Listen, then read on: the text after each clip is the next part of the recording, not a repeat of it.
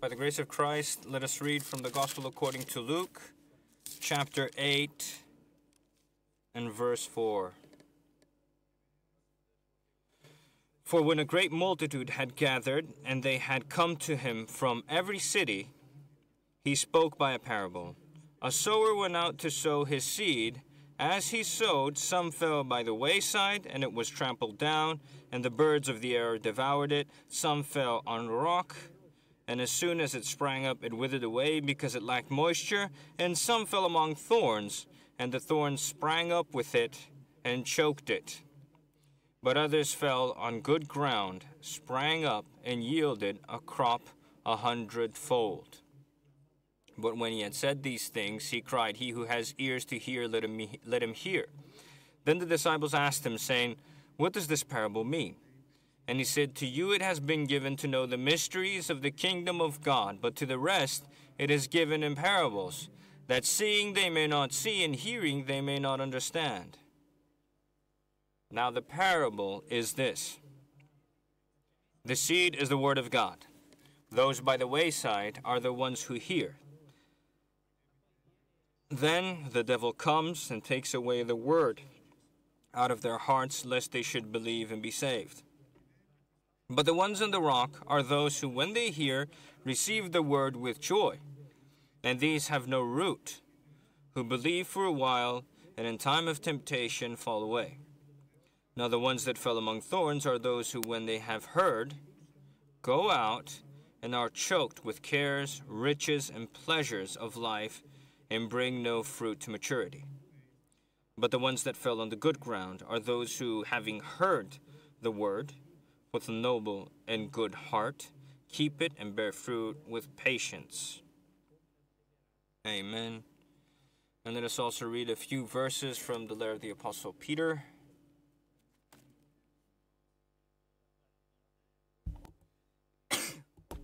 Peter, 1 Peter chapter 2 verse 1.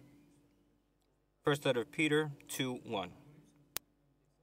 Therefore, laying aside all malice, all deceit, hypocrisy, envy, and all evil speaking, as newborn babes, desire the pure, pure milk of the word, that you may grow thereby, if indeed you have tasted that the Lord is gracious, coming to him as to a living stone rejected indeed by men, but chosen by God and precious.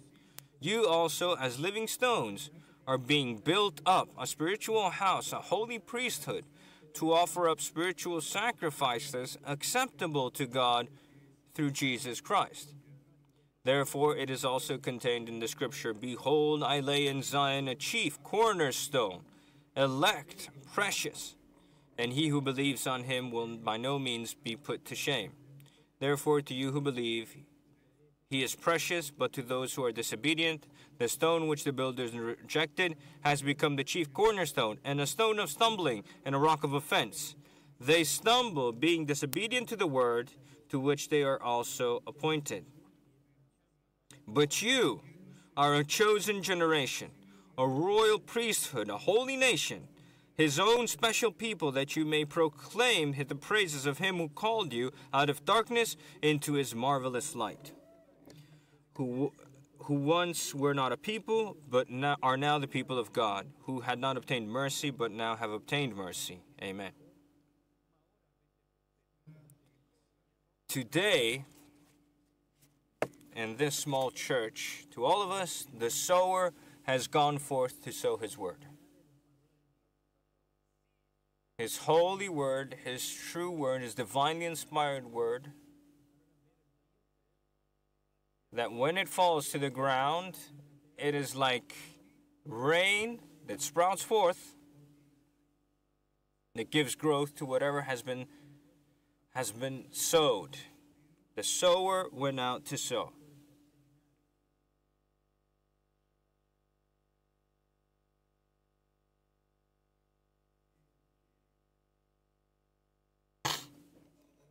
and only the disciples, and I believe that if we are something, at least we are disciples of Jesus Christ and nothing more. Woe to us if we ever believe that we are teachers, theologians, or something, having the authenticity of interpretation of the scriptures, or that we think that we are something special. Because the Apostle Paul assures us by the Holy Spirit and by the Word of God that if somebody thinks that he is something while he is nothing, he deceives himself, and we do not want to deceive, at least from now on, ever ourselves. We are nothing. I am nothing. But the sower went out to sow his seed. The Lord has come. He sowed. And he gave us a joyful message. A joyful message. A message of joy, of praise, and of thanksgiving. For all of us. But Christ but God gives. The question is do I receive? That is the question. Christ gives. Do you receive? He gives openly. He sows His word richly. Will you take His word? Will you take His seed? Because our Lord Jesus Christ testifies that while the sower went out to sow, other seeds fell by the road, on the side, on the wayside, there where the paths are. In the old times, I've lived these, lived this. There wasn't any asphalt or streets there where the fields were. There were paths. And everyone would walk, walk through the path so he can go to his own field because he did not want to step on his own field, but neither on the stranger's field. And how had the paths been formed on their own? Somebody started, started, the other one followed, and paths had been started. One or two people could pass and when one walk single file, there were no roads, there were no building blocks, there were just fields. And there were the paths that many times paths became boundaries of fields. So the, so the seed, the good seed, fell on the wayside and the trampled ground. No result. No result because because the seed cannot enter. And according to the interpretation of our Lord,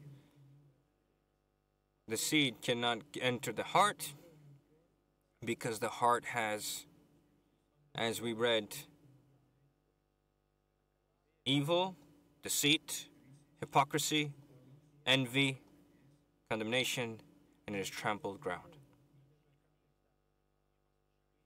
So the pure milk, we cannot drink it as babes, so we cannot grow, therefore the word of God goes to waste. Why? Because we have bitterness in us. And I want to tell you something that most of the times, bitterness and hatred that may exist in us and jealousy, even though our heart excuses it because this man did and said this against me or that, and reality, it is imaginations of the devil with the fiery darts of the enemy who strikes because there is no faith, and he strikes the hearts of the unbelievers. In the church, my dear brethren, there are holy brothers and sisters. If you haven't understood this yet, this so significant thing, at least learn it. Holy brothers and sisters. Don't be wicked. Don't think second thoughts. Don't ponder. And if somebody fell, even if he fell seven times, the Lord will raise him. You must be careful, you who think wickedly and you have wicked thoughts, let you fall and never get up again. The church of Christ is not made of man, it is heavenly. It is always covered with the blood of Christ. and always flooded with the Holy Spirit. If you have despised brethren and churches in your heart, I'm afraid that you will fall and never get up again. No church, no brother do I have the right to judge because I will be judged, especially to convict because I will be convicted, to condemn because I'm already condemned if I do this. I have the right to do this to no brother, no church, and no other man of God. Why? Because this is what my king wants. Because this is what my Lord wants. Because this is his command. And I do not discuss the commands of my king. I do not negotiate. And when I see going angry, and going protesting left and right and saying, why, how, and what? Christ is not your king then. He's not. It's a finished deal you are without a king. Because if the Lord were your king, he would tell you, Be quiet. Quiet down, and your peace and your conviction is your strength. Believe in the gospel. Learn from me that I am meek and humble in the heart. Do not condemn. Do not judge. If these words do not reach your heart, then you do not have a king. You will fall and never rise again. For that reason, my dear brethren, today not only will we seek Christ as our king, but first we will repent because he is not. We will first repent. If we do not repent, there's no future. Trampled ground. But also in the field, there is a part that has stones in it. There, there are rocks. If you go to Kalamo, to my house, it's, it's a rock. Nothing can grow there. In order for me to plant a tree, I, can, I uh, brought dirt. And so we can build a house, we had to break rock with a drill. I have planted a lemon tree 50 years now, and it's this tall it is produced like a small lemon this size. Why? Because it's on a rock. It's planted on a rock. There are rocks all around. Nothing can grow there. No matter what you plant, it won't it won't grow. Only wild trees can grow there. And this dirt that has rocks, only wild trees can grow. They bear no good fruit though. They take up the ground as well either bushes or anything wild, it will grow there. It is not the seed of the sower, but it is the seed of the other sower. So, my dear brethren, it is not only that the good sower went out to sow good seed, there is also the bad sower that sows his bad seed. And if you accept the seed of the good sower, then he will become your king. If you accept the seed of the bad sower, he will become your king. So you cannot have two kings. It's impossible for you to have two kings, two lords. You will either love the one, the bad sower, and hate the other one, the good sower, or you will hate the one, the bad sower, and the good sower, the other one, you will become attached. It is a welcome time, and it is a day of repentance, so that the king may come and reign over good ground. There's also the other ground now. That has thorns and briars. thorns, and there the the seed falls, but there other seeds have been sown. Thorns, briars, poison ivy, and all the wild wild grass, and the good seed falls there among them, and they grow together. The word of God, along with man's word. The Word of God, along with the cares of men, and the agony of men, and the worries and the fears of men, and the desires of men, and the desires of the flesh, and the desires of the eyes, and the arrogance of life. All together they grow. They grow. And the good soul, seed also grows, but it doesn't bear fruit. It becomes useless. Today, the sower went out to sow his seed. The issue is my heart. What state is my heart in? Because there is the good ground, the good soil. What does good soil mean? Good ground, without cunningness, without wickedness, without offense, without thoughts, without evil. Nothing, nothing. But goodness. God is good. Without offense, without anger, without nothing, nothing, nothing. Good ground. And profitable ground. It bears fruit. It accepts and it rejoices over the Word of God. It weeps with the Word of God. Spirit of a humble person, good ground. A contrite heart, good ground.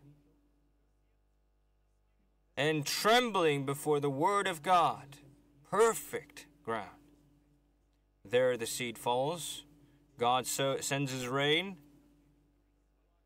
It grows and it bears a hundredfold fruit. It bears good fruit.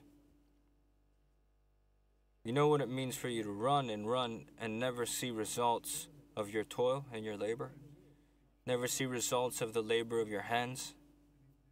To never see the work of God? To never see the Word of God working in your life as He works among all the brethren? And why? Because you were not careful so that the Word of God, when it is sown, where is it sown? So today, I want Christ to be my King. But first, I repent. Change my heart, Lord.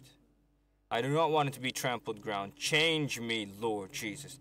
I do not want it to be full of, of thorns and, and, and rocks where it will grow and, and then wither away and it's temporary. I don't want it. I don't want the devil to have sown in me cares and worries and riches and desires of the eyes, desires of the flesh, ambitions, wickedness, evil, hatred. Clear out my heart, Lord, please. Blessed are the clean, pure in heart, because they will always see the Lord. Clean out my heart, Lord Jesus. Clean out my heart. And the heart, my dear brethren, cannot be cleansed except with repentance, confession, and return and with the blood of Christ. Cannot be cleansed otherwise. And a dirty heart brings forth dirty things. Out of the abundance of the heart speaks the mouth. So you can understand what kind of a heart you have.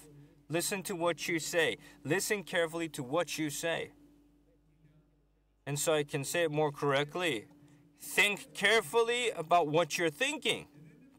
Because it's not only for us to say them, but we can say them out loud, but we can also say them from within us. In order for me to understand today if my heart is good and kind, so that it may bear a hundredfold fruit, I must sit around and think of what I say on the outside and what I say on the inside. And say, then, I repent. I repent for these thoughts of mine. I repent for these words that I said. I repent for everything, Lord. Clean out my heart. Why?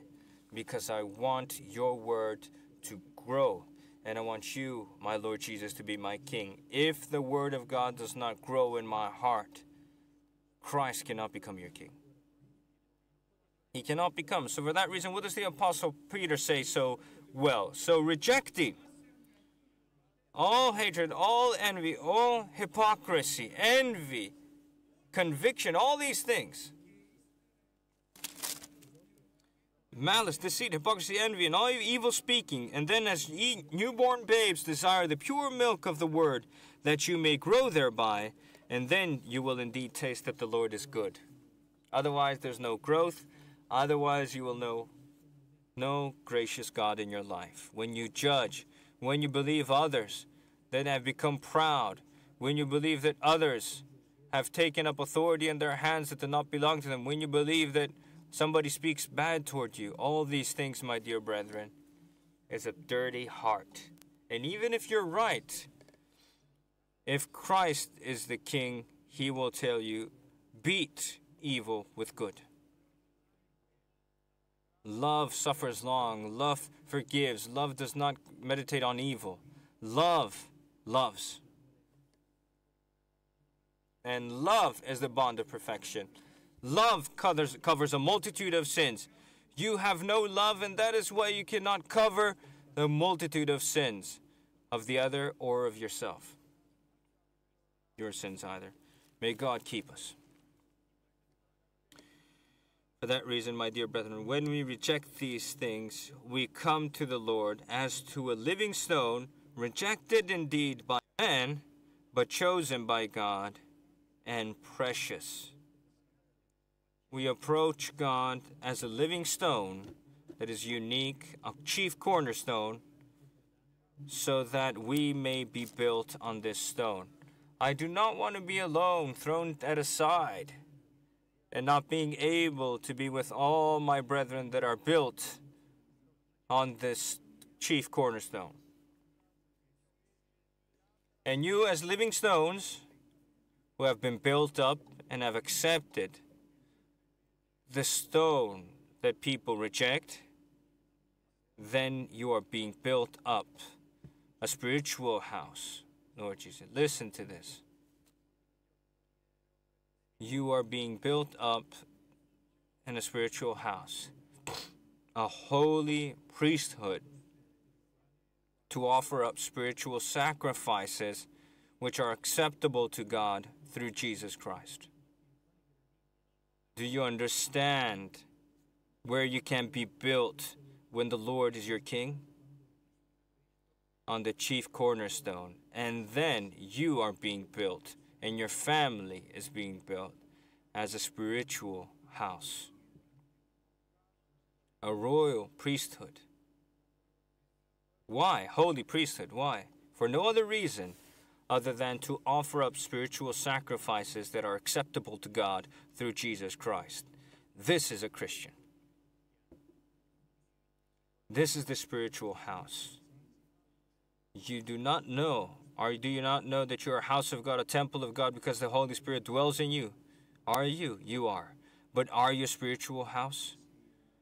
Are you a royal priesthood? I do not know this about you, and you do not know about me. God knows for everyone, but I also know for myself, and you for yourself. Today you know it, if the Word of God convicts you. Today you know that you've messed up. Today you know that you are the exact way that He tells you, and I know what the Word of God tells us. For that reason, I have to repent. We have to repent because I want to be a spiritual household. I want to be a royal priesthood. I want to offer spiritual sacrifices that are acceptable to God. I do not want to pray and God say, I don't not, not listening to you. I don't want you. Listen to what David says. I read this and my hope my soul was so joyful. When the Lord reigns, then Moses and Aaron and Samuel called upon the Lord, and he listened to them. Why? Because they had the king as the Lord as their king. I want my prayers to be heard. They called upon the Lord, and the Lord heard them in a pillar of smoke with the power of the Holy Spirit. He spoke to them.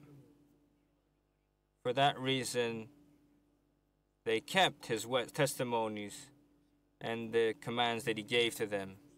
And God, who heard them, was a God who forgave them, and he was vengeful for their deeds. My dear brethren, God is not love. God is love, yes, he is but he is also consuming fire. He is forgiving, but he is also he also avenges. Do you want what do you want your king to be um, against you? Forgiving or vengeful? Forgive it. Oh, forgive us, Lord. God forbid. I want to be built Christ gives me the chief cornerstone to go and stand. He tells me what to reject and clear out my heart with. And He gives me the command to go and build myself in a spiritual house, to become a royal priesthood, so that I may offer spiritual sacrifices that are welcome to God, and that God may hear me, and God answer me, and God intervene, and that God, Christ, be my King, and that I see no evil in my life any longer, because He is my defender, my Lord, and my God. For this reason, it says in the scripture Behold, I set in Zion the chief cornerstone uh, chief cornerstone, elect and precious, and he who believes in him will by no means put to shame. And this is the word of God that was sown by the sower today. It is a chosen stone. He who believes on him will by no means put to shame. Therefore, to you who believe, he is precious. God gives honor today because we believe. Do we believe? Because today we believe in the Word of God. What does we believe mean? We accept it we do not negotiate it. We do not discuss it. We say that it is the Word of God as it is in truth, and it works and it acts in our life. But to those who are disobedient, he will become a chief cornerstone, but a stone of stumbling and a rock of offense. You will hear the word of God because you are disobedient, and you will become offended. You will hear the word of God because you are disobedient, and you will stumble. Amazing. I hear the word of God and I stumble. And I say, What is this man telling us now? And what is he saying? What is he saying? It's not like this. I know. I stumble, I trip, and I become offended. Why? Because I am not of those who believe, to whom honor belongs, but I am those who are disobedient. Why? Because my heart is wayside, or it has stones, or it has thorns and briars, and does not accept the word of God as a word of God that it is. And the word of God cannot work in me. For that reason, God says, You who believe, to whom honor is due, you who believe, and whom uh, whose heart I clean, clean, you who believe and are precious, and you want Christ to be your King and Him alone you are a chosen generation. You are born and raised of God. You're born of God. You're a chosen generation. You are a royal priesthood. You're kings and priests of the Most High. You who believe, you who do not stumble in the word, you do not trip on the word, you do not become offended with the word, but you accept the word of God that Christ sows. You are a holy nation, his own special people.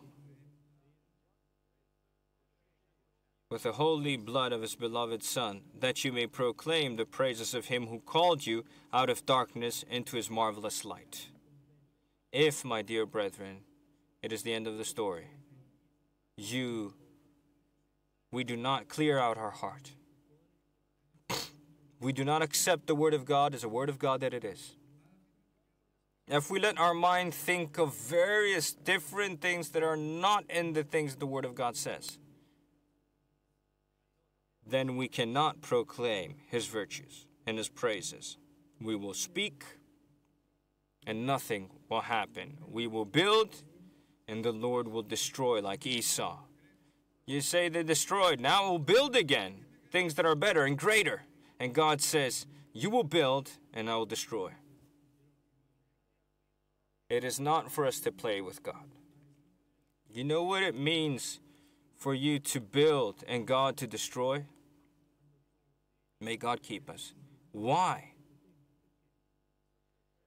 Because while it was sown by the sower, the good seed, you think. We mustn't think of these things. We say amen to our King. We testify, we approach God as guilty men. We want, we repent, we want Christ. We've made many mistakes. What can we do? We're all men, we're not without mistakes. But today, when it's a welcome day and it is a day of salvation, today we want the one who gives to make us able to also receive. We do not want to leave this place without the Word of God sown into our heart. We do not want to leave without taking from Christ the thing that He wants, and that is to be our King. Christ gives, and I want to take. I want to receive, and today and always, so that even though I was not a people of God, now God makes me. I was not. I was in the church, but I wasn't a people of God. Because what did my heart have in it? Evil, hypocrisy, deceit, and all the rest. Laziness. You know what is there's there's church and I stay home because why? Because my wife isn't home, she's gone to work, I don't go to church. But do you understand what you're doing, my brother? Do you understand what you're doing? You sit in front of a computer and you play and play and play, and the gospel of Christ is next to you open, but you never read it. Do you realize what you're doing?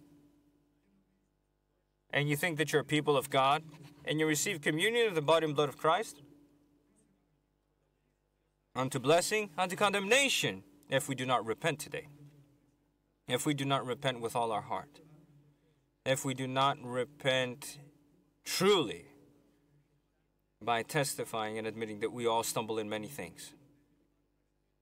Then you will be a people of God then you will be have obtained mercy of the Lord. God will show you mercy. And to the thing where there is no boundary is the mercy of God. I want the mercy of God in my life. I want to be of those who receive mercy from the Lord. I do not want to be of those who think and I come and I wear my good clothes and I wear my good dress and I wear my good suit and I'm modest and my hair is combed well but my heart is full of other things, either it be stones or rock or trampled ground or thorns and briars. I want my heart today to be transformed by God. I want it to become good ground and good soil so that the word which I've heard to bear fruit a hundredfold. Amen.